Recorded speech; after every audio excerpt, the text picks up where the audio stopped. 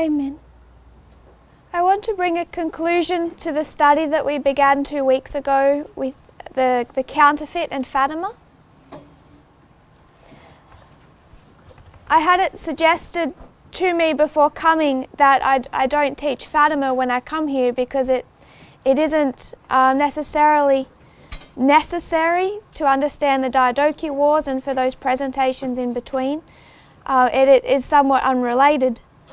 And I've always argued that this study has to be presented alongside the Diadochi Wars and Fatima, Pyrrhus and Fatima together.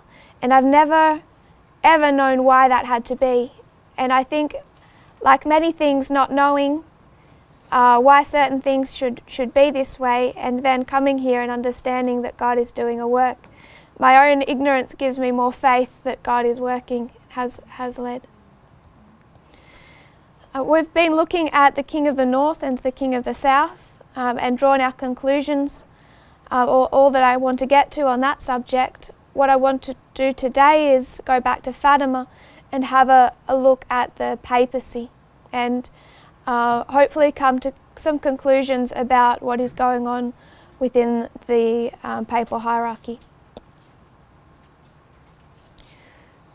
We all understand the parable of the banknote uh, you study the, the, they were told to study the true uh, so well that when a counterfeit note came to them, they would be able to recognize it on sight. They would see in it the flaws um, in a moment. And you get to that point by understanding the true so well. We've had 29 years of studying the true and, and the counterfeit. I know that's come in. But really, if things seem like they don't fit, like something is confusing when studying the counterfeit, I find it helpful to go back onto our into our information bank of what the true looks like.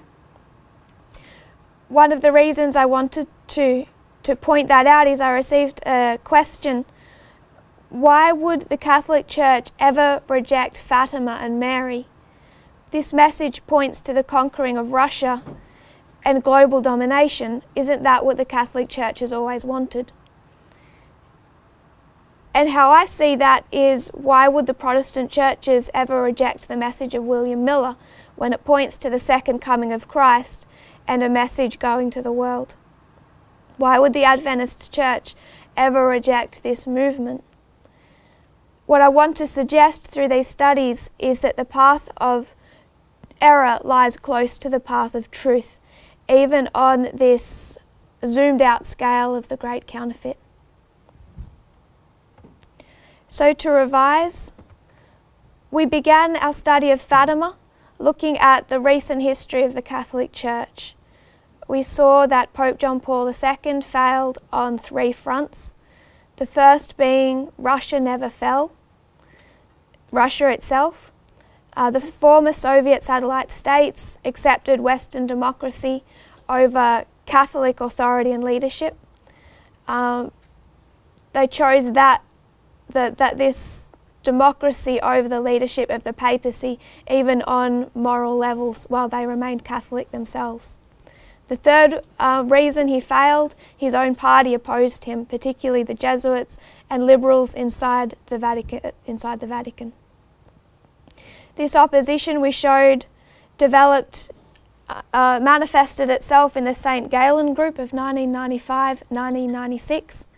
This group met for 10 years until 2006 in the town of St. Gallen in Switzerland. What this group wanted to do was to redirect the Catholic Church from the path chosen by John Paul II and into a more liberal stream. This St. Gallen Group, or as they call themselves, the St. Gallen Mafia, were not known of until 2015 when one of the cardinals who was part of this group, Cardinal Godfrey Danneels, wrote about it in his autobiography. And then others who were part of this group uh, came forward. The reason they could be so free now is that they'd actually already achieved their end goal with Pope Francis. The National Catholic Register of September 24, 2015 records this um, new information about Danneels. It says serious concerns are being raised about Cardinal Godfrey Danneels, one of the papal delegates chosen to attend the upcoming Ordinary Synod on the Family, after the Archbishop Emeritus of Brussels confessed this week to being part of a radical mafia reformist group opposed to Benedict XVI. Uh, this article then goes to list the laws coming into Belgium while Cardinal Danneels was stationed there, these lists on abortion, same sex marriage, euthanasia, IVF research, and it shows how he took a very liberal, accepting stance on all of those laws uh, within Belgium. They then show how, in this co coming synod, this country, far smaller than many African countries that have only one delegate representing them, are represented by th uh, three delegates. And Cardinal Danneels is listed out of 45 delegates as the second in importance, personally chosen by Pope Francis to participate in the upcoming meeting. So this shows just one little instance of something you can find in many many places over since 2013 of Pope Francis stacking the Catholic Church uh, with liberals. At the launch of the book in Brussels this week, his autobiography, the Cardinal said he was part of a secret club of cardinals opposed to Pope Benedict XVI. He called it a mafia club that bore the name of St. Gallen. The group wanted a drastic reform of the Church to make it much more modern and for Cardinal Jorge Bergoglio to head it. The group, which also comprised Cardinal Walter Kasper and the late Jesuit Cardinal Carlo Montini, has been documented in Austen Ivereigh's biography of Pope Francis, the Great Reformer. The Cardinal Jorge Bergoglio that they wanted to head this became Pope Francis and they achieved their goal in 2013 and he has since been uh, reforming the Catholic Church. An interesting article I want to read to you. Two close associates of Pope Francis have accused American Catholic ultra conservatives of making an alliance of hate with evangelical Christians to back President Trump, further alienating a group already out of the Vatican's good graces. This is a Vatican vetted journal, and what these two close associates of Pope Francis did was they accused American conservative Catholics of going into an alliance of hate with the Protestant churches to back President Trump. What they're accusing their own people of doing, their own, conservative Catholics, is going a, a union between Protestantism and Catholicism inside the United States to back the president. And this is an ac accusation coming essentially from the mouthpiece of Pope Francis himself.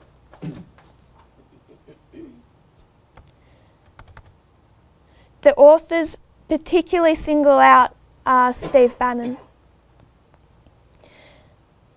They warn, the article warns that conservative American Catholics have strayed dangerously into the deepening political polarization in the United States. The writers even declared that the worldview of American evangelicals and hardline Catholics, which is based on a literal interpretation of the Bible, is not too far apart from jihadists. It is not clear if the article appearing in La Civiltà Cattolica received the Pope's direct blessing, but it was extraordinary coming from a journal that carries the Holy seal, See's seal of approval. There has apparently been no reprimand from the Pope, who is not shy about disciplining dissenters. And La Civil Civiltà Cattolica's editor has promoted this article nearly every day since it was published in July, and this is early August. Not long after Francis' election, Vatican ambassadors briefed the pontiff about various situations around the world and suggested that he be especially careful when appointing bishops and cardinals in the United States. I know that already, the Pope interrupted, according to a high ranking Va Vatican official familiar with the details of the conversation who asked that his name not be used when discussing internal Vatican deliberations. The Pope said, I know that already. That's where the opposition is coming from. So, what we want to, to see in these studies is just a little bit more clarity about what is going on inside the Catholic Church. And I don't claim to have all the answers. In fact, I still have many questions, but I'm hoping that this gives us some direction. To understand the path of the counterfeit, I want to begin by drawing out the path of the true. And I'm not going to go into proofs for this. I think most of it, hopefully all of it, is already established. And um, some of it has been drawn up from Elder Parminder's classes uh, last in a, a few prophecy schools previously. So we understand 538.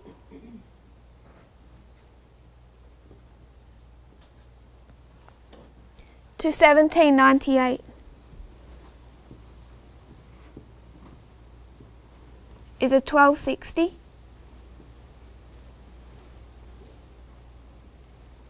And we can mark this as a scattering time. In 1798, William Miller is raised up.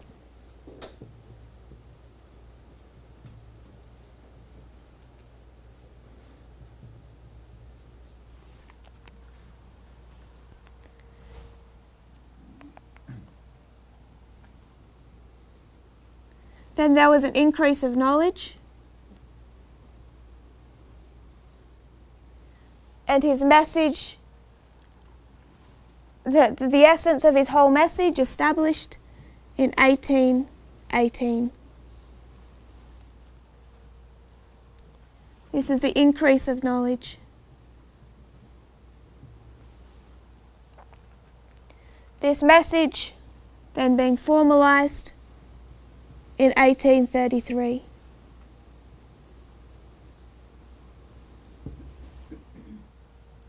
We understand the history of 1844. I'm going to skip over most of that and go to October 22,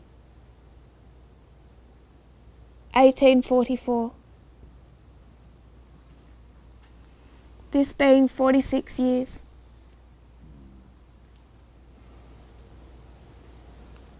October 22, 1844, we mark as the disappointment.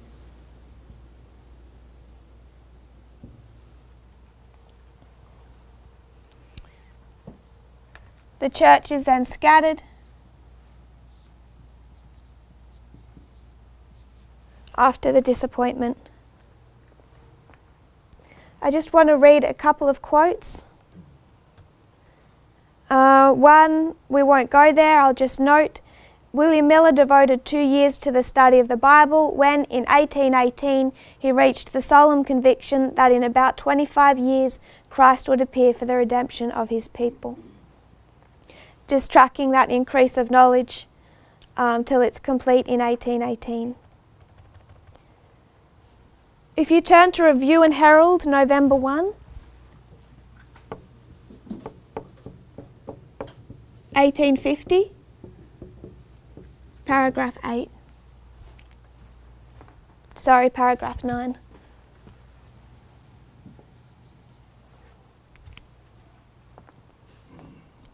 just to mark a regathering in 1850.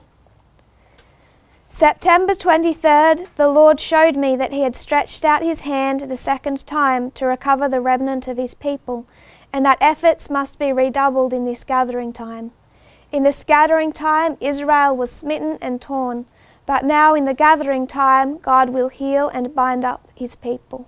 In the scattering, efforts made to spread the truth had but little effect, accomplished but little or nothing. But in the gathering, when God has set his hand to gather his people, efforts to spread the truth will have their designed effect. All should be united and zealous in the work. I saw that it was a shame for any to refer to the scattering for examples how to, go- to govern us now in the gathering. For if God does no more for us now than he did then, Israel would never be gathered. It is as necessary that the truth sh- should be published in a paper as preached. So we understand a regathering, and with here we also mark the 1850 chart, which they were meant to take to the world.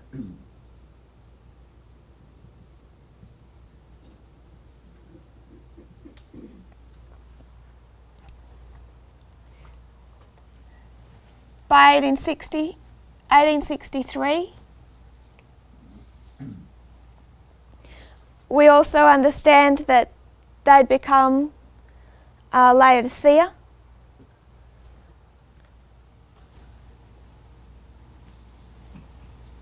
And 1863 marks organisation. Question Was organisation of itself bad?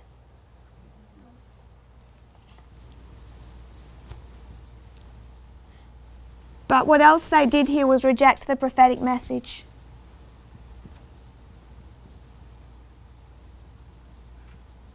Rejecting the 25 20. From 1863 to 1989,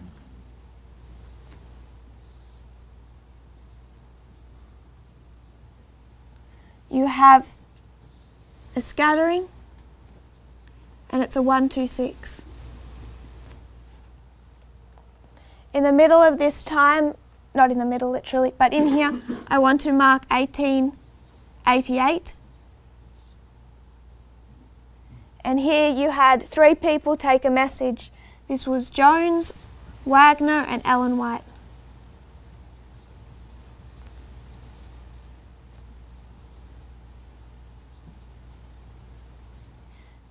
That was meant to complete the work. This failed. I want to note William Miller, Jones Waggoner, Ellen White, and in 1989 we could mark Elder Jeff Pippenger and the final movement. And since 1989, God is gathering his people.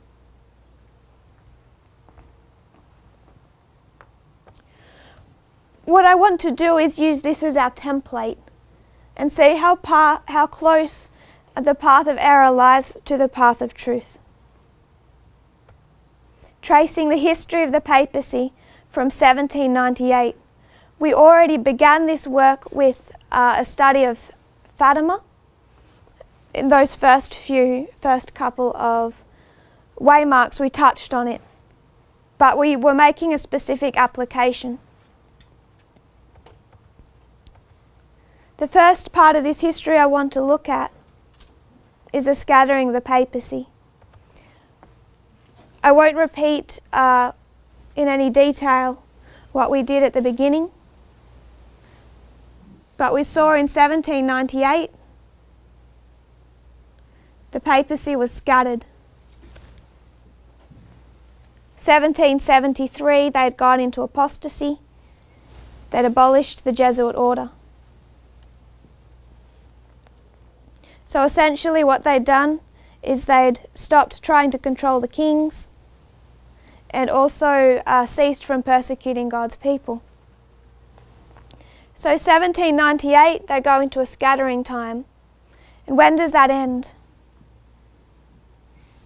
We can mark in this time William Miller, Jones and Waggoner, etc., but who is raised up here? Is it Ellen White? No, I'm just not without putting a date to it. I'm going to put her here. With her conversion, her baptism, uh, before she does her work in that, in that history. So, what I want to suggest is that here, who is raised up? It's not Lucia.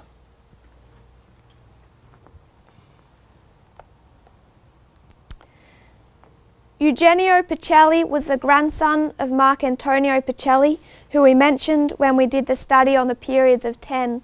This is that family of uh, church lawyers. Marcantonio Pacelli, who in, I, I believe it was 1848, travelled to Rome and began his studies on Code of Canon Law. It, he had two grandsons, Francesco Pacelli, worked with Cardinal Gasparri to create and negotiate the Lateran Treaty, and Eugenio Pacelli, who with Cardinal Gasparri created and negotiated Code of Canon Law. Much of the quotes I want to read to you come from this book, Hitler's Pope. And also we'll be uh, using some excerpts from His Holiness on Pope John Paul II. Quoting from Hitler's Pope There are no telling anecdotes to describe the course of his priestly education through the next four years. All that is known for certain is that he passed the necessary exams that qualified him to proceed to holy orders. On April 2, 1899, at the age of just 23, he was ordained alone in the private chapel of an auxiliary bishop of Rome, rather than with the rest of the candidates of the Roman diocese in St. John Lateran. Once again, he had, he had assured his contemporaries. The following day, he said his first Mass at the altar of the Virgin in the Basilica of Santa Maria Maggiore, assisted by Father Leis. 1899, Pacelli becomes a priest.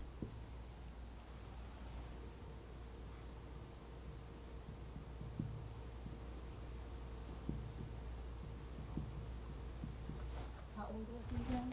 23 years old.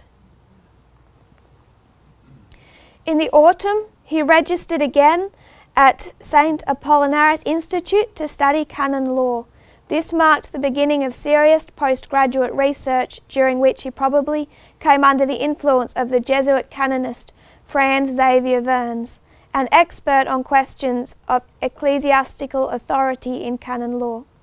No doubt under the influence of his grandfather, his father, and his brother Francesco, Pacelli was hard at work studying canon law in the expectation that he would receive a call to begin his ecclesiastical career as his father had termed it when he sought a place for Eugenio at the Capranica.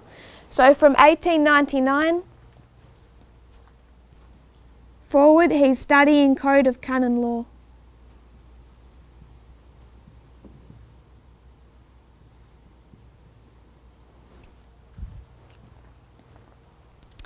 Details of how a high level emissary headhunted the young priest have become legend. And this was Cardinal Gasparri who knocked on this young man's door and asked him to come and with him study Code of Canon Law and pretty much rebuild the entire uh, code code of canon law and um, I can't remember the word.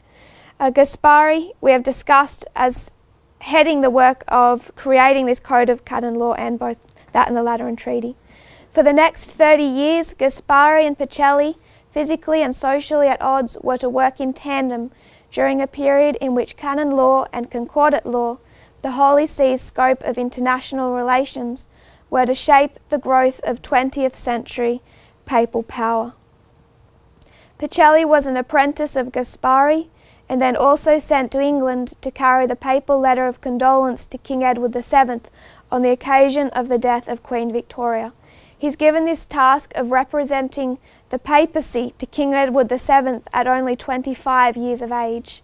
He was already, from his earliest years, singled out um, on the fast track of promotion. In 1904, at 28 years old, he received his doctorate after writing a thesis, the theme of which was the nature of concordats, special treaties between the Holy See and nation states, monarchies, or empires and the function of canon law when the concordat is somehow suspended. So we mark 1798 to 1818 as this increase of knowledge uh, internally. I want to mark 1899, he becomes a priest, he begins studying Code of Canon Law, then he begins writing with Gasparri Code of Canon Law, and this is finished, code written, May 1917.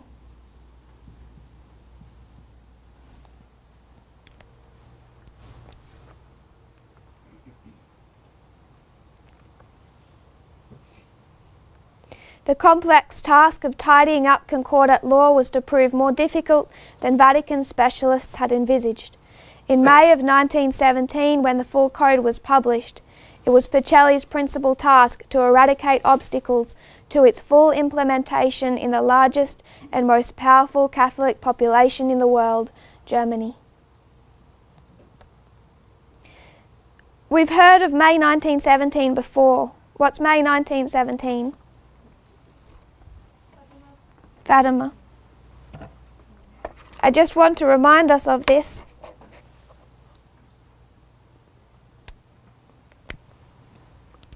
How we tracked Fatima.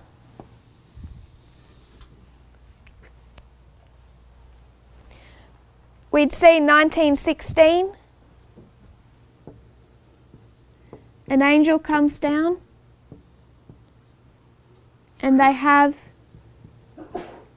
it comes down three times the three components of the first angel's message the first experience being fear the second being a rebuke for not um, not fulfilling what was required of them in the first and the third they're given the chalice and the host the bread This all prepared them for the 13th of May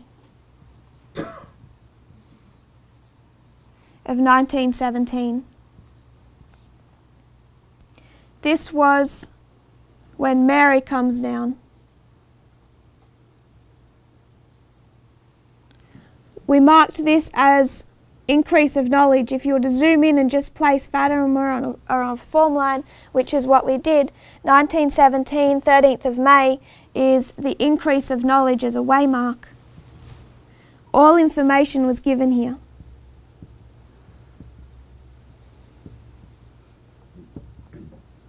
They were told there would be six visits and then the promise of the seventh.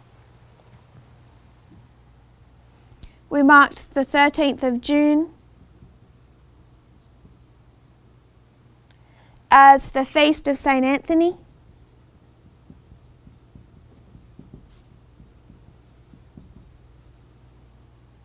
and he is the Catholic saint of teaching and preaching. He was known for his power of public speaking, and it was claimed that when his body was exhumed, his tongue hadn't rotted.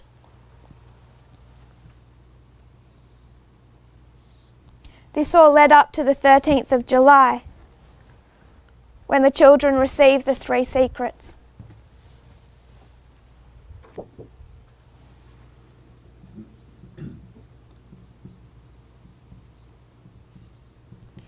The first secret being a vision of hell, fear. The second being a call to dedicate Russia, or the threat of a World War Three, World War Two, sorry. And the third being a message of judgment.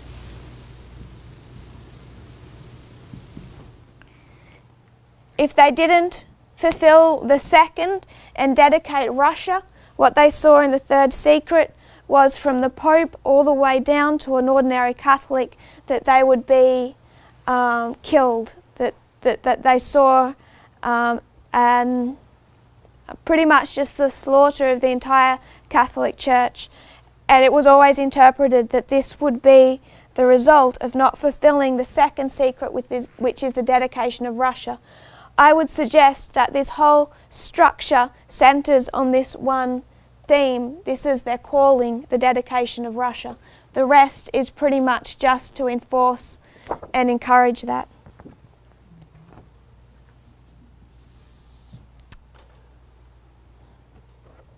We saw that internal, external enemies began their work in this history when the children's, particularly uh, members of the children's families were, uh, never believed these messages and were uh, began persecuting them.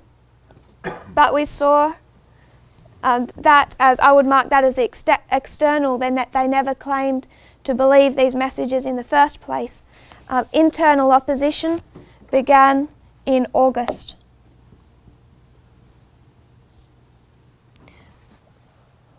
When a fellow who had claimed to believe offered to drive the children to the cove for the 13th of August and the expected apparition, and instead he separated the children from their parents and placed them in prison for that period of time.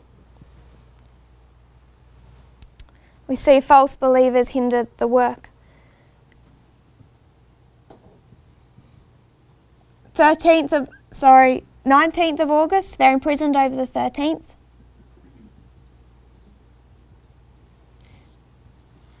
They see Mary, another apparition, and they're told to construct a chapel. You have the chapel mentioned here. 13th of September, you have a prediction of October. You can mark a prediction, and they're told that in October, 13th of October, there would be a miracle for all to believe that the children would see Mary, Joseph, baby Jesus, along with other um, saints of the Catholic Church.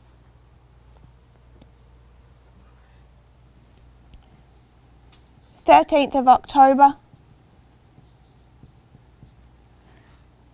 Just prior to this is torrential rain, which dries up at that moment when this uh, vision occurs, this miracle.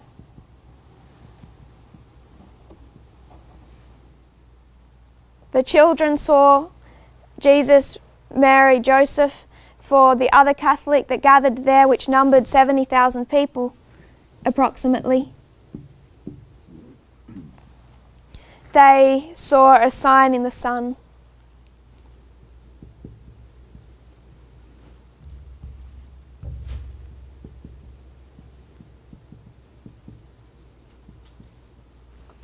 So that's just a little revision of what we looked at at the beginning of the line of Fatima. If you were to place this on a reform line, from the three visits of the angel to, through to the increase of knowledge, uh, the formul- formalization of the message, and then what we would mark as 9 11, these three secrets, and they're calling really the dedication of Russia, the message that needs to come through. Then we saw internal enemies and strife, a prediction of October, and then in October, preceded by torrential rains, uh, the miracle signs in the sun, and they had this vision of Jesus.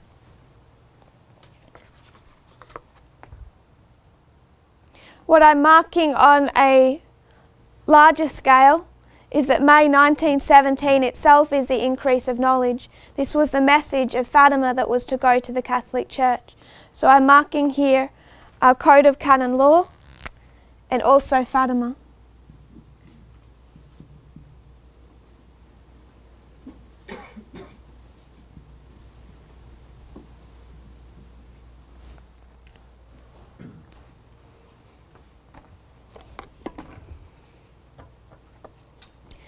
On the 13th of May 1917, that's our mark for increase of knowledge, while Mary was appearing in Fatima announcing to the world her message of peace and conversion and warning humanity about the terrible crises of the 20th century, in the Sistine Chapel in Rome from which he would emerge years later as the successor of Peter, the Nuncio Pacelli, the future Pius XII, was being consecrated Archbishop by Pope Benedict XV. Now, quoting from Hitler's Pope, those with a mind to read significance into Marian dates would later note that Pacelli was made a bishop on the very day, Sunday, May 13 of 1917, when three children were said to have witnessed a lady all of dazzling light at a place called Fatima in Portugal.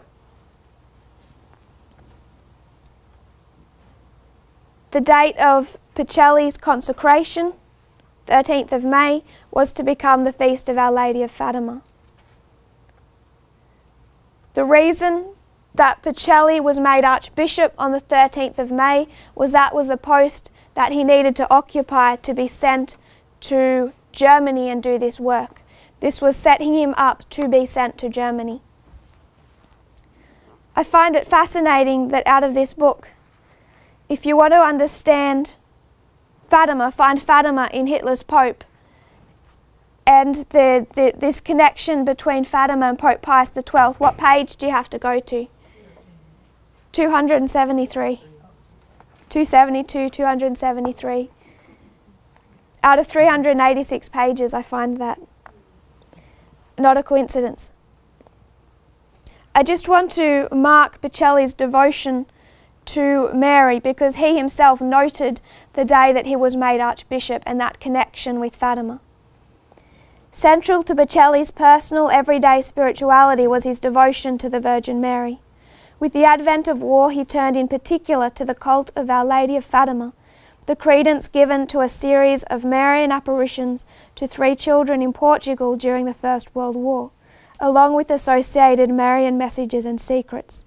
A central feature of the messages focused on the requirement that the faithful should pray to Mary in order to avoid world conflict the spread of communism, and ultimately the destruction of the world in a holocaust of divine punishment.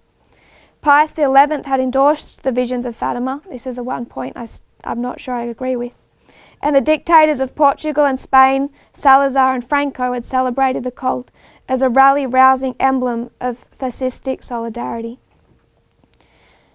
I'm not sure about Pius XI as he never dedicated Russia as he was asked to do.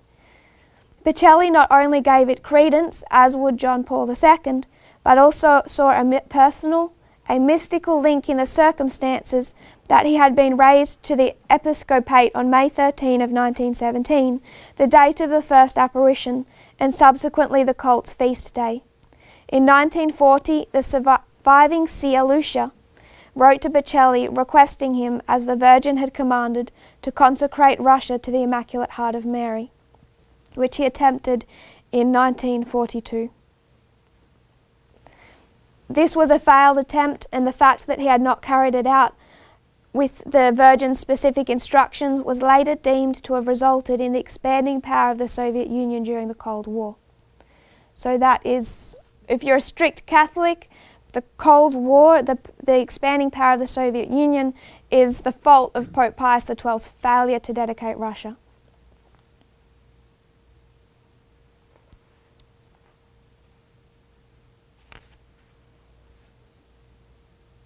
What happens in this world of ours, according to such a perspective, depends on Mary's intercession with her sons to so curb the power of Satan that war and discord will be vanquished. The conditions of this virtual appeasement operate on the basis of Marian revelations sanctioned as authentic by the Pope, whose power is thus parallel to Mary's. There has been a close link in the minds of modern popes between Mary and papal authority. In short, the unfolding of human history depends not on communitarian and societal action and responsibility, but upon miraculous interventions mediated by Mary and endorsed by the papacy. The Second World War, according to some interpreters of the cult, had seen Christ's kingship challenged by the powers of Satan and Christ's victorious supremacy temporarily suspended. The Pope was in Pope Pius XII was in the habit during World War II of conducting a form of exorcism to cast out the devil that he assumed inhabited the soul of Hitler, which he did in the dead of night in his private chapel in the papal apartments. So that's how you handle a beast that's giving you problems. So that is how Pope Pius XII viewed his connection with Mary and Fatima. We studied in a class uh, Elder Parminder's class about a, a, week, two weeks ago, the difference between uh, two types of prophets. That one has a direct communication with God and another is divinely led. And here we see two types of prophets. One, Lucia, direct communication from God, and Satan, Pope Pius XII, divinely led, satanically led. So at the time of the end, he's raised up, he experienced an increase of knowledge, code of canon law, uh, finalising itself when that law is completed and the vision of Fatima.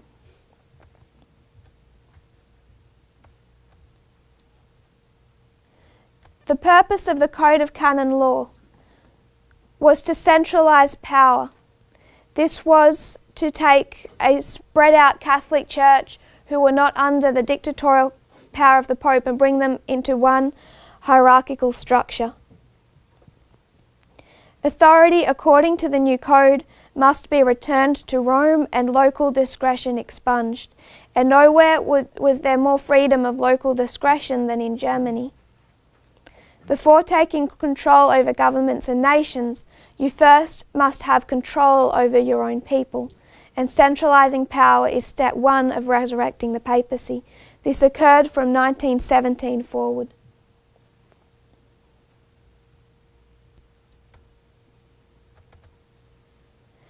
These Code of Canon Laws, quoting from Hitler's Pope, were packaged in a manual, published, brought into force in 1917.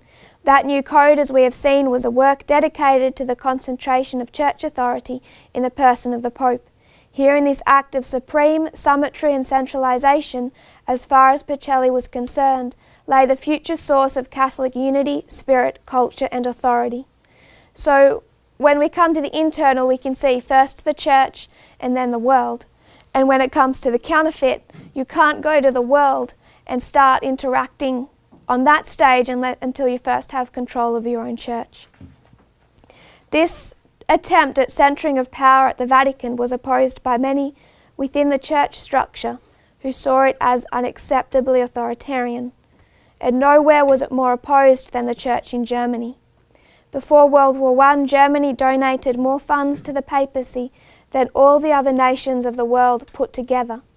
It was Pacelli, Pope Pius XII, who was to be made a bishop on the 13th of May 1917 for the purpose of being sent to Germany to bring in the Code of Canon Law.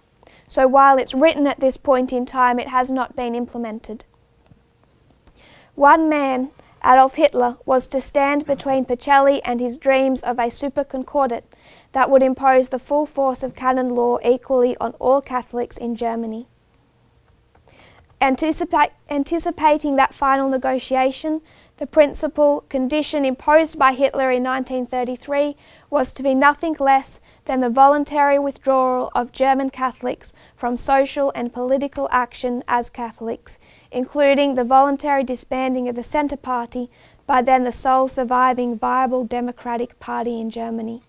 This abdication from political Catholicism was implemented by Pacelli himself, who by this stage had become Cardinal Secretary of State to the Vatican. Using the considerable powers of persuasion at his command, and he did, was not afraid to resorting to blackmail and open threats. Pacelli's remarkable agenda was impelled, as we have seen, by an almost messianic conviction through three generations of the Pacelli family that the Church could survive and remain united in the modern world only by strengthening papal authority through the application of law. First, reform your church and then, uh, then go to the world. So the Code of Canon Law was all there, but it had not been introduced into Germany. It had not been accepted or formalised. This began the work of Pacelli. In his negotiations with Hitler that went over a period of time, it was finally signed into law in 1933.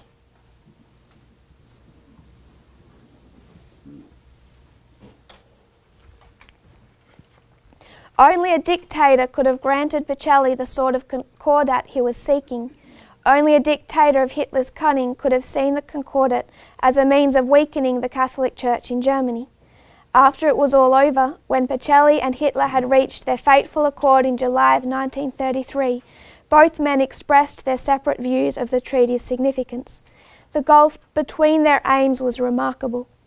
Hitler declared, the fact that the Vatican is concluding a treaty with the new Germany means the acknowledgement of the National Socialist state by the Catholic Church. This treaty shows the whole world clearly and unequivocally that the assertion that National Socialism is hostile to religion is a lie. So, what Hitler is saying here is that he has the blessing of the papacy. Pacelli uh, was not pleased with this statement and said that the historic victory was entirely that of the papacy. For the treaty emphatically did not mean the Holy See's approval of the Nazi state, but on the contrary, the total recognition and acceptance of the Church's law by the state. So we can see problems developing right back here, and as we've suggested before, this is a history of failure, and this beast does not like to be ridden. The treaty was formally signed in by the Secretary of State on July 20 uh, by Papen and Pacelli.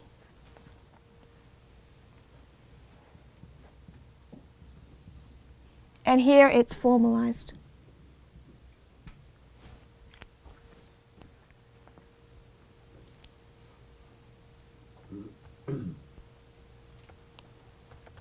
Who could not now doubt that the Nazi regime had the blessing of the Holy See? In fact, Archbishop Gröber went out of his way to congratulate the Third Reich on the new era of reconciliation.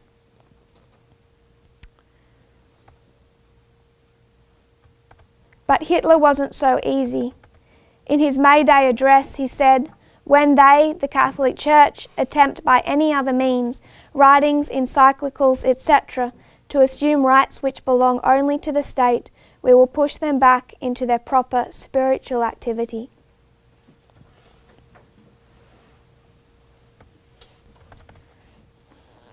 So we see from 1933 to 1945 this relationship, I would suggest, if you want to know more about it in Hitler's Pope, this relationship between Hitler and the Vatican. So to be clearer and go back, we had 101 years of scattering, time of the end. He begins studying Code of Canon Law that is completed in May of 1917. That law is formalised, signed in in July of 20, 1933.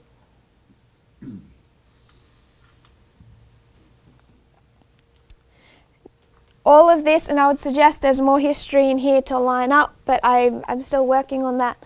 Um, 1945, we see the defeat of Hitler and a disappointment. How many years between 1899 and 1945? 46 years. You may start noticing the dates 1798, 1899, 1818, 1917, 1833, 1933, 1844, 1945. What I'd like to suggest is through this history, history Satan is paralleling his church, eh, paralleling Christ's work with, with his church, uh, with Satan's work with his own church, trying to replicate what God has done within the Millerite movement and forward. So, what was Pope Pius's the twelfth stance during this time? I want to make special note of this because I think it is um, it becomes relevant for us today. Pope Pius XII was always careful to not give Hitler his public endorsement. As stated in this book, he always knew that uh, Pope that Hitler would go to war with the Soviet Union, even through that whole pact uh, with that Molotov-Ribbentrop Pact, Pius XII still knew that there would be war between the two, and as a dedicated um, student of Fatima, he knew the role that that that, um, that Hitler would play in that, and that's one of the reasons that he supported Hitler. But publicly, he was very careful to not give his full endorsement, and I would like to suggest that it explains this reason to us um, in page 229, Sir Orme, Orme Sargent, also of the Foreign Office, office, wrote a memorandum that charged Pacelli with moral impotence. What the um, British Foreign Office, United States government, what what these other um, the Allied powers were trying to do was have Pope Pius XII speak out in condemnation of fascism and Hitler and condemn the Holocaust, and this he refused to do for the entirety of the war. The reason, according to uh, this member of the Foreign Office, was that the Pope intended to maintain a middle course between the democracies and the fascist and Nazi dictatorships. Pacelli's motive, he recorded, was to secure a role as a mediator at the appropriate moment. In other words, there was an element of self-seeking hubris in Pacelli's neutrality. Pacelli's ambition to become a judge of judges, a world mediator in the world but not of the world, was not so much unpinned by neutrality as by his estimate of the supreme status of the Vicar of Christ the King on earth. The objective harked back to the perfect sovereignty of Leo XIII and those dreams of influence filling the vacuum of the papacy's loss of temporal power. So, what I want to note there is that he is giving the appearance of neutrality. Osborne, the British ambassador, said, quote, His Holiness is clinging at all costs to what he considers to be a policy of neutrality, even in the fa- face of the worst outrages against God and man, because he hopes to be able to play a part in restoring peace. He does not see this silence is highly damaging to the Holy See and is entirely destructive of any prospects of his being listened to. So, the suggestion all through this book implies that Pacelli remained neutral during World War II because his end game was that he would be called in to clean up the mess, to be the super negotiator which both sides would trust as a reasonable authority to dictate the terms of peace. So, in the event of Hitler losing, which did become did begin to look not only more and more likely but also with Hitler's behaviour not entirely um, a bad thing for the papacy. What he hoped to be was that great mediator between Allies and Axis.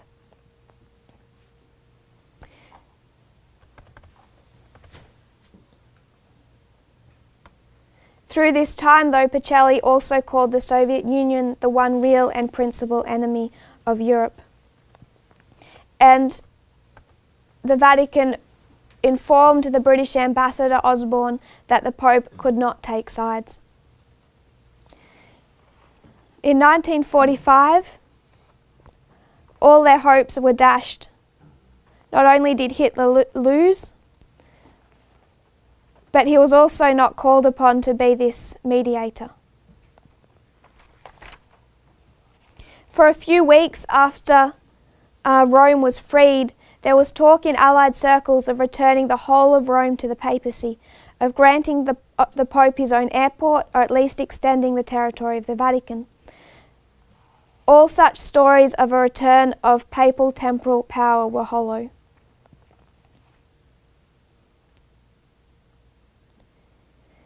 And in 1945, as Rome is freed, the political situation in Italy overshadowed all of Pacelli's other concerns. With the collapse of the fascist movement, Mussolini, Hitler, Italy found itself in search of a new social and political identity. Two leading, largely mythical models presented themselves to the Italian people. On the one hand, there were the Communist Party, which hero worshipped Stalin, and on the other, there was the allure of American style free enterprise democracy, extolling individualism, consumerism, and the American way of life. Publicly disdaining these foreign models, the communists above all, Pacelli was to urge a third option, the prospect of winning over Italians to Catholic renewal, according to the pontiff's vision of the Church. For Pacelli, the best of all possible worlds was the Spanish model of a seamless Catholic corporatist state. That is, a leadership based on selection rather than election, a partnership between two sovereignties, the temporal and the spiritual both Catholic and loyal to the pontiff, so union of church and state. Despite Franco's readiness to impose his will on the church, Pacelli was to honour the Caudillo with the highest Vatican decoration, the Supreme Order of Christ.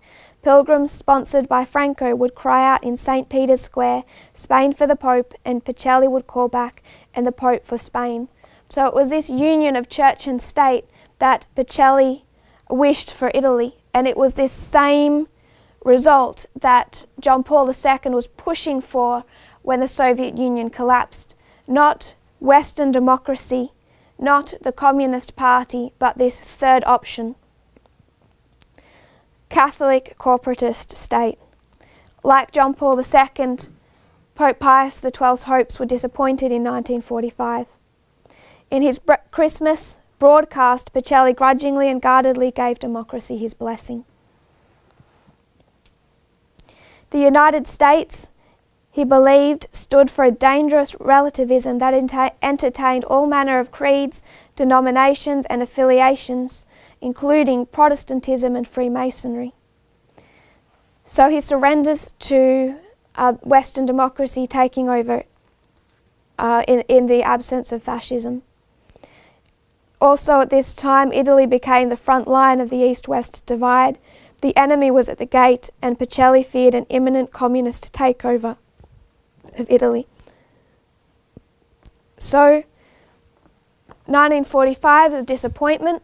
From 1945 forward, you have this fall of the Iron Curtain, the development of the, this East West divide, and the Catholic Church has pretty much lost its, its status in those Catholic Soviet states. Hope for, for bringing them back.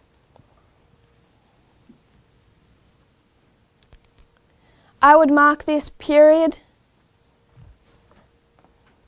of scattering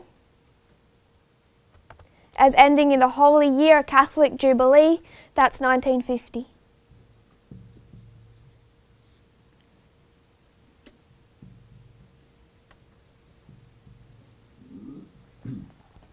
What Pacelli did in 1950.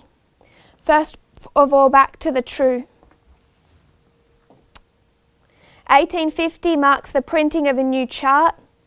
The truths that were um, established back here are rewritten, uh, uh, recoded onto this new chart. Ellen White says, God showed me the necessity of getting out a chart. I saw that it was needed, and the truth made plain upon tables would affect much more and would cause souls to come to the knowledge of the truth. So it's using this chart that they were meant to take, that the Millerites were meant to take this message to the world.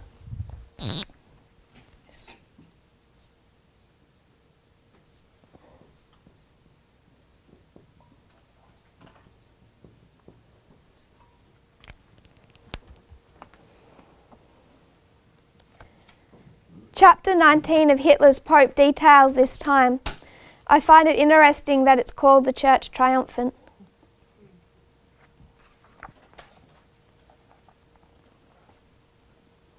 On November 1 of the holy year 1950, Pacelli came out on the loggia above St. Peter's Square and announced to the thunderous applause of a million strong crowd that the Immaculate Mother of God, Mary ever a Virgin, when the course of her life was run, was assumed in body and soul to heavenly glory.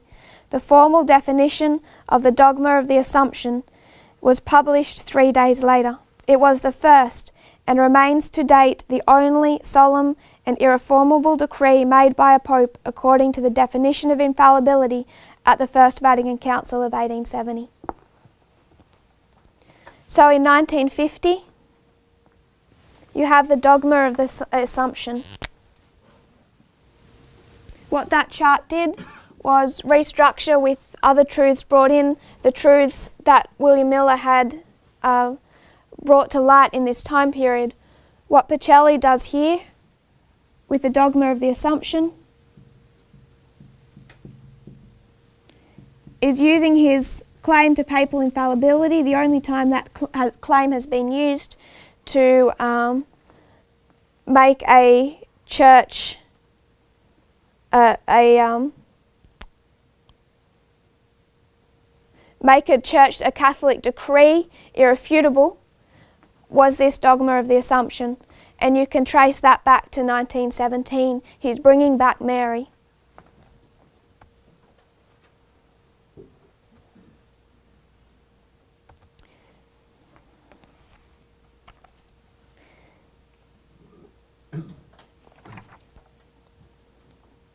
There was a sense of militancy and defiance about the timing of this dogmatic formula formulation. Ever since 1940, Franco of Spain had used the cult of the Assumption, associated in Spain with Mary's Queenship of Heaven, as a rallying cry against communism. The Assumption was central to Marian privileges extolled by various Spanish legionaries and armies of Mary. Holy pictures and medallions illustrating the Assumption mystery accompanied uh, Franco's volunteers to the Eastern Front against the Red Army, against communism. The dogma was doing something spectacular for Mary. It had the power to inspire and revitalize mass loyalty to her cult. At the same time, it inspired loyalty to the Pope and his unique power to bind or loose in heaven and on earth. Pacelli's Marian fervour, fervour was confined and intensified at the time of the issuance of the dogma by a personal mystical experience, and he claims to see the miracle of the sun of the, uh, October the 13th. The effect that this dogma of the Assumption had in the subsequent years. The Assumption dogma combined with this papal vision, anticipated the declaration of a Marian year for 1954, prompting widespread crusades of Marian prayer, rallies, coronations of her statues, special masses and dedications of her shrines, together with countless Marian apparitions and sightings. A Spanish Jesuit reported sourly that gusts of apparitions are sweeping through the eastern and western peoples of Europe, and the Marianism has flown as far as America and Asia, where it has produced a no less splendid flowering of prodigies. In the United States, Father Patrick Peyton's campaign aimed at encouraging the recital of the Rosary in the home was accompanied by the slogan, the, families, the family that prays together stays together, and a world at prayer is a world at peace. The vacuum created by the suppression of dynamic creative theology in the post war period was thus filled, filled by Marianism, whose appeal was a popular combination of private devotion and exhibitions of mass loyalty and fervour. In 1954, Franco talked to the Spanish nation about the threat of Soviet nuclear weapons. He said, quote, with the hope that this hour does not come, we confide ourselves in full faith to the protection which cannot fail us of our holy patron and the intercession of the Immaculate Heart of Mary. So from 1950 forward, what he has done is, he's taken the message of Fatima, combined it with this dogma of the Assumption, and this has gone to the world, leading to pilgrimages, shrines, um, all of these things.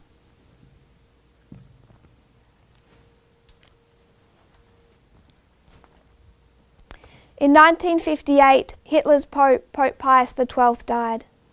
In his place came Pope John 23rd. On the January 25 of 1959, he called a general council with a view to pastoral renewal and the promotion of Christian unity. So in 1959, you have a, a new pope, Pope John the 23rd, uh, announcing the coming Second Vatican Council. That Second Vatican Council began in 1962. There was a considerable opposition from within the Vatican when senior officials failed to stop the project. They attempted to put a stranglehold on its deliberations and decisions. The old guard wanted it to be a council that condemned modern heresy, and they did not succeed. Pope John intervened to ensure that there would be no anathemas or excommunications, that representatives of other Christian denominations. Sorry, lost my place.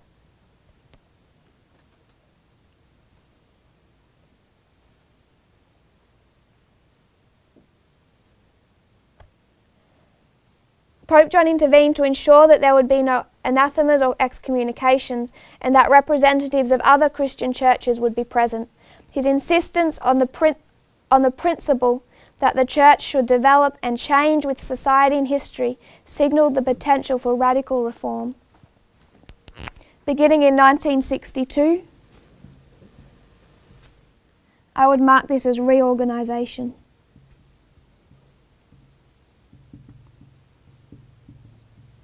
And what I want to suggest, which has implications for our time, that for them, that reorganisation to come up uh, in line with the modern world was for them a good thing.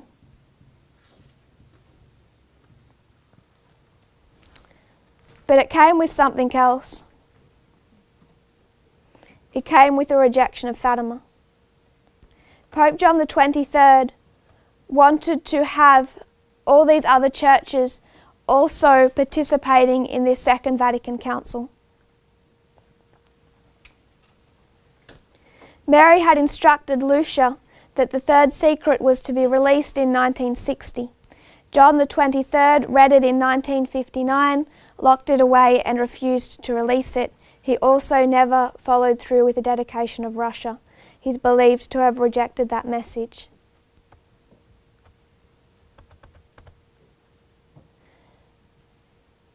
Those who passed by the convent of the Little Sisters of the Poor in Borny, on the outskirts of the French city of Metz, never imagined that something of transcendental importance occurred in the residence of Father Lagarde, the convent's chaplain. In the hall of this religious residence in August of 1962, two months before the Second Vatican Council opened, a secret meeting of the greatest importance between two high ranking personalities took place. One dignitary was Cardinal of the Curia, Eugene Tisserant, representing Pope John XXIII. The other was a Metropolitan, Nikodim, who spoke in the name of the Russian uh, schismatic church. This encounter had consequences that changed the direction of the council, which was already prepared to change in the traje trajectory of the very history of the church in the 20th century. What was the matter of such great importance that was resolved at this meeting? Based on the documents that are known today, there it was established that communism would not be condemned by the Second Vatican Council. What Pope John XXIII does in 1962 is to have the Catholic Orthodox Church represented at the Second Vatican Council, he goes into a secret deal with communist with the Soviet Union. In 1962, the Vatican and the Russian Church came to an agreement According to its terms, the Russian Orthodox Church agreed to send observers to Vatican II under the condition that no condemnation whatsoever of communism should be made there.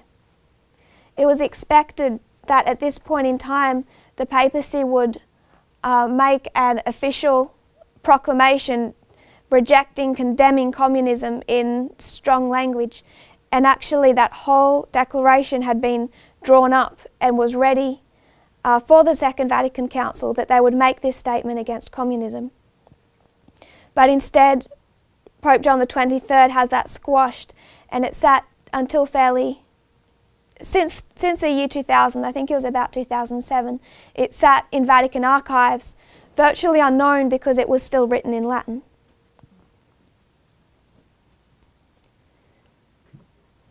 Speaking about the liberty at Vatican II to deal with diverse topics, Professor Romano Amerio revealed some previously unpublished facts. The salient and half secret point that should be noted, he stated, is the restriction on the Council's liberty to which John XXIII had agreed a few months earlier, in making an accord with the Orthodox Church by which the Patriarchate of Moscow accepted the papal invitation to send observers to the Council, while the Pope, for his part, guaranteed the Council would refrain from any condemnation of communism and this, was this negotiation took place at Metz in August of 1962.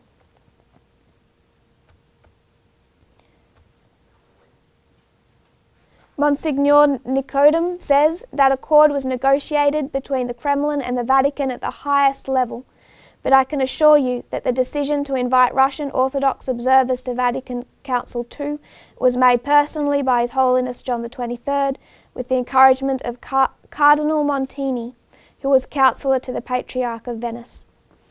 So, reorganisation in 1962, but they reject their message.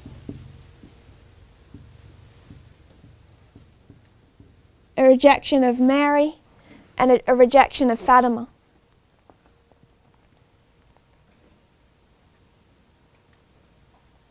Pope John the 23rd 23rd died in 1963, the year after this um, council began. What I want to note after, I'll, I will just track them for you so it's less confusing. We had Pope Pius the 12th.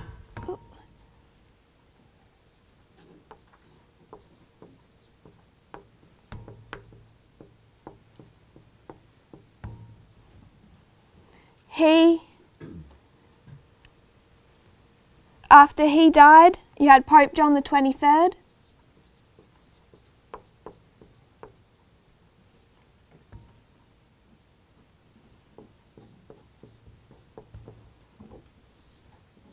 Pope Pius the 12th went from 1939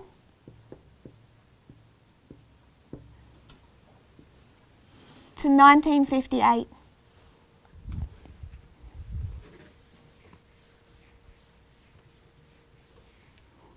Pope John the 23rd, 1958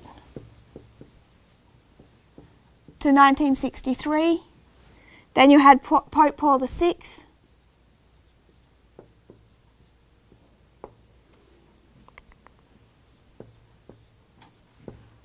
Nineteen sixty three to nineteen seventy eight. Then you had Pope John Paul I. 1978. He died 33 days after becoming Pope. So from 1978, you have Pope John Paul II. 1978 to 2005. Then we know that there was Benedict the 16th.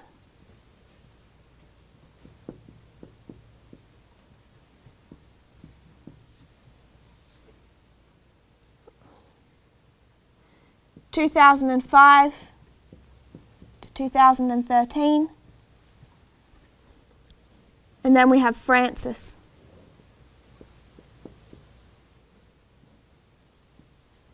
2013 forward. So after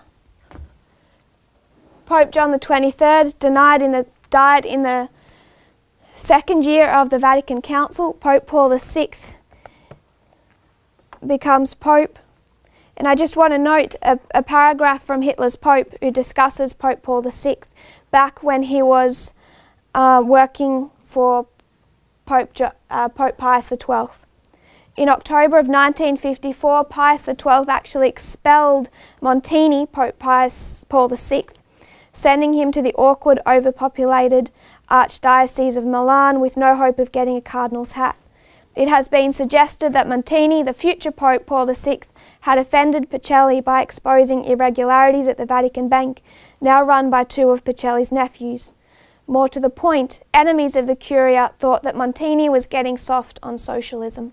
So, what was Montini's problem? Like Pope John the 23rd, Pope Paul VI was soft on socialism, on communism. it's noted, believed that um, when Pope Paul VI did visit Fatima, that Lucia tried to speak with him, and she cut, he cut her off and said, Go speak to your bishop he didn't um, he didn't fully accept Fatima.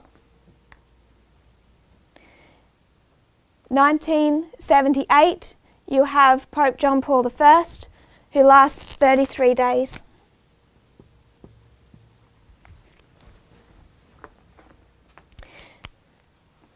Before Pope John Paul II takes his place.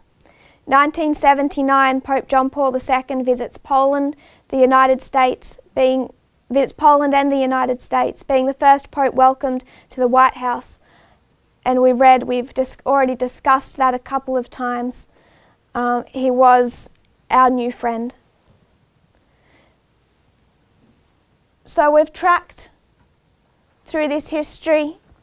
Uh, I hope you can, can note the number 13 and the frequency with which it comes up. On May 13 of 1981, Pope John Paul II was shot in a suspected Soviet plot. As he slumped in the car, he was heard saying over and over again, Mary, my mother, Mary, my mother. John Paul II was a dedicated Marionite.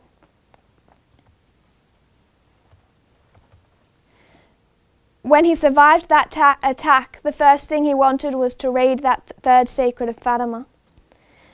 Quoting from the book His Holiness, the Pope was very moved upon reading the contents of the envelope as the reality of the secret sunk deeper into his heart. He immediately thought of consecrating the world to the Immaculate Heart of Mary. He believed that on the May 13 of 1981, which was the 64th anniversary of the first apparition in Fatima, the Blessed Mother guided the bullets that shot him to protect him from death. The third secret of Fatima was so much about him the bishop dressed in white, quoting from that secret, that Pope John Paul II recognized him himself as the Pope or bishop who, in that third secret, was assassinated, was killed. Some would later say that Pope John Paul II couldn't possibly be that bishop in white in the vision because he did not die. To that, Pope John Paul II answered that he should have died, but the Blessed Mother brought him back from the brink of death. He even went so far as to say that Mary gave him back his life. There was no question in his mind. So, this brings us back to the history we have discussed and the failure of Pope John Paul II.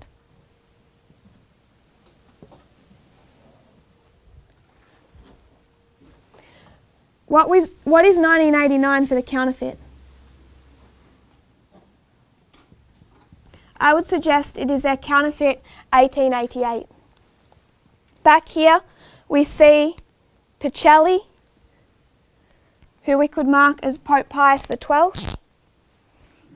And what does the number 12 make us think of?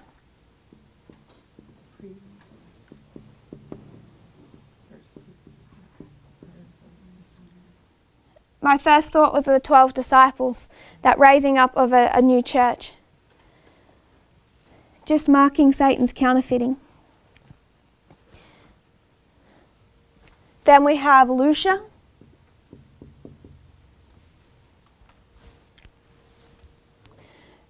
Nineteen eighty nine, you have John, Paul, Lucia. There's never more than one pope. This is a structure with one supreme being at the top but I would suggest we can pick up the symbology of Pope John Paul II. We have Jones, Waggoner, Ellen White. We have John, Paul, Lucia. This was a failed attempt on three fronts. Russia never fell.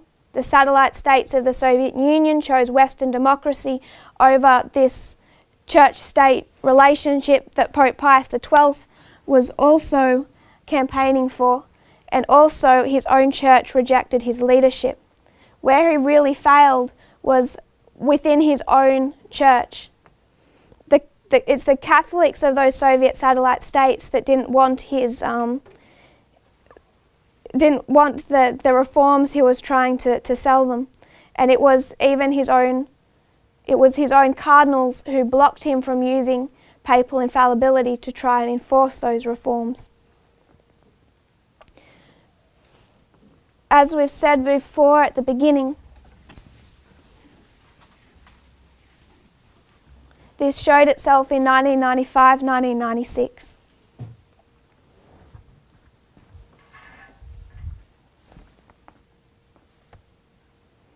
With the St. Gallen group.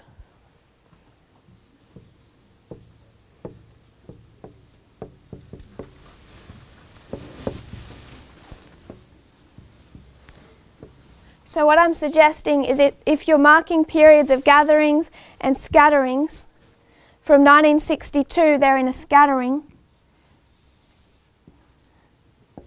and 1989 is like 1888, it doesn't change that fact.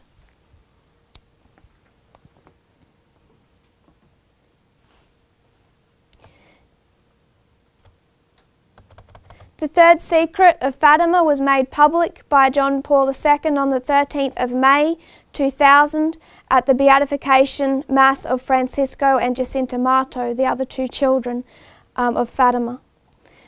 Lucia then died on the 13th of February 2005, tracking the number 13. I would suggest that the papacy has been scattered for the majority of our reform line. Pope Pius XII was, was raised up he was actually raised raised up after Pope Pius XI at a very convenient point in time. In February of 1939, back to this history here, Pius XI convened all of Italy's clergy in Rome to deliver a speech he had worked on for months. This speech denounced the violations of the Lateran Treaty by the Italian government and the racist persecutions by the German Reichstag. The night before he was to deliver the speech, Pius died of a heart attack. Pius XII's first work was to have that speech uh, found and destroyed in whatever form um, it was in. So, Pope Pius XII, you can see a bypassing of leadership.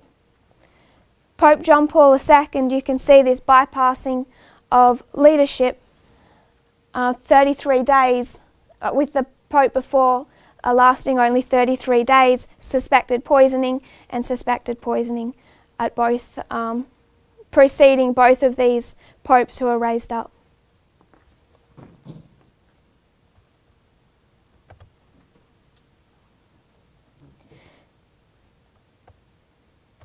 So, what do we need now? Pope Pius XII was raised up, Pope John Paul II was raised up, Lucia was their prophetic voice. What do we now need?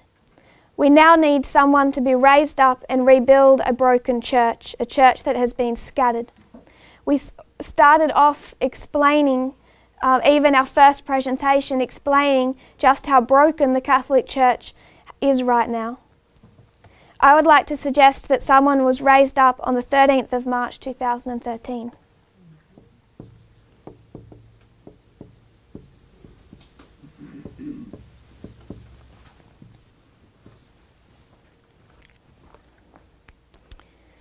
It's been 1,100 years since a pope chose a name without a number.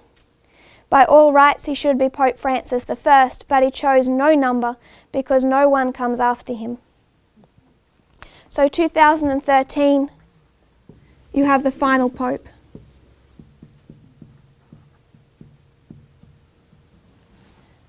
March 13.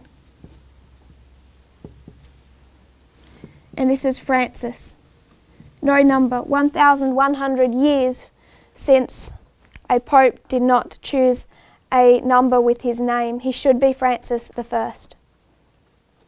What was the call of Francis of Assisi, who he chose his name from? We all, the first thing we all think of is of poverty, but that wasn't Francis of Assisi's calling. I'm going to quote from you here the, the um, calling of Francis of Assisi as they tell it. The church was again in trouble at, um, at this point in time. Uh, this is around, he was born 1182, died 1226. The church was again in crisis. Many bishops and priests were absent pastors. Those who were in residence oftentimes were caused of scandal causes of scandal to others by their lax morals and bad example. A man named Giovanni Bernardone was praying in a church named after Saint Damien in front of a crucifix. The fi figure of Jesus on that crucifix suddenly called out to him by his common nickname, which came from the fact that his father was French, and said, Francis, rebuild my house. The man who became eventually the great St. Francis thought the Lord was asking him to rebuild the dilapidated church of St. Damien. So he went to his father's clothing store, took some valuable fabrics, and sold them, along with a horse, in order to start repairing this literal church. Over the course of a couple of years, he finished the job, but little did St. Francis know that he had misinterpreted the Lord and that the Lord had another rebuilding project in mind. That project started with Francis himself, who responded to God's grace to follow the Lord Jesus completely, uniting himself to the Lord by means the evangelical counsels of poverty, chastity, and obedience. Francis of Assisi was being called to rebuild the church as a whole, symbolized by the Cathedral of St. John Lateran. He was being called to rebuild the entire household of God. How did St. Francis rebuild the church? He helped bring the church back to her foundations so that the church could be rebuilt stone by stone on the foundation of Christ we concentrate on the poverty aspect of St. Francis, but his calling, as they tell it, is to rebuild the temple.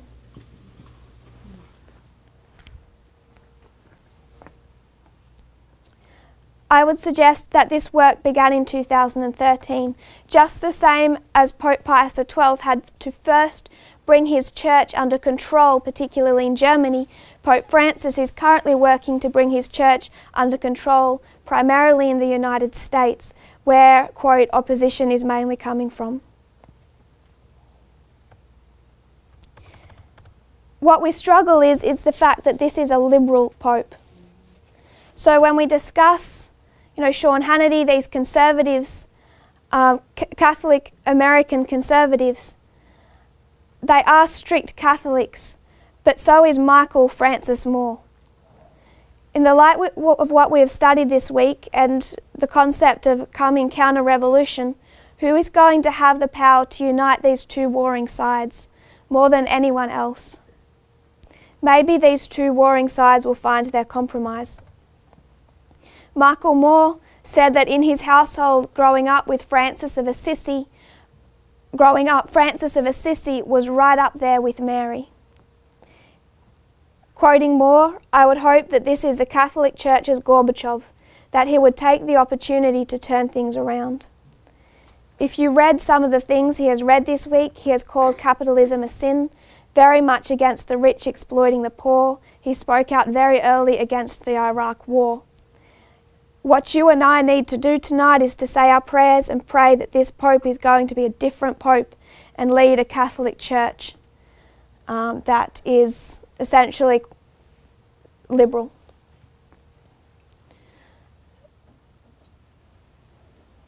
I find it, I don't have a clear picture of how that union would take place when Francis is currently waging war within the conservative elements of his church. But you do have a pope that liberal Catholics like Michael Moore are rallying behind. And I think with coming times, considering Pope John Paul II's wish to be that great mediator, Pope Pius XII's wish to be that great mediator, what we might have coming is a great mediator that, in a situation of counter revolution, of civil war, can bring two sides together. We'll close with a prayer. Oh, one other thought, sorry. Just quickly. 220. 220 from 1798 takes you to when? 2018. 2018 is to us what? I'm going to use the word midnight cry. When is Mary's feast day? For over a thousand years, what is Mary's Catholic Church feast day? August 15.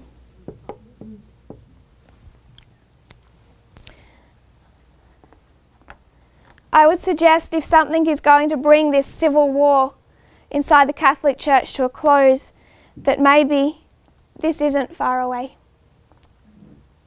If you'll kneel with me. Dear Father in heaven, thank you, Lord, for all of your blessings. Thank you for not leaving us in darkness, but preparing us for the serious times that we, we are living in, Lord, that are coming, but also that are here right now. I pray, Lord, that we will be prepared to bring the true message to the world in heart and in mind. Father, there are many questions still, and I pray, Lord, that you will uh, give us whatever light is necessary to prepare us. Thank you, Lord, when, when we look at that line of the true, that it's so perfect, so clean, so uniform, Lord, and it fits. And we can see all through it threaded, Lord, a message of love and a, a willingness to restore um, not only your church, but each one of us from the inside out. Thank you, Lord, for the beauty of, of our lines. I pray, Lord, that those that are following um, Satan's leading, Lord, not even aware of it, that they might see the beauty in this message when their time comes, and that they might choose the path of truth over the counterfeit. I pray this in Jesus' name. Amen.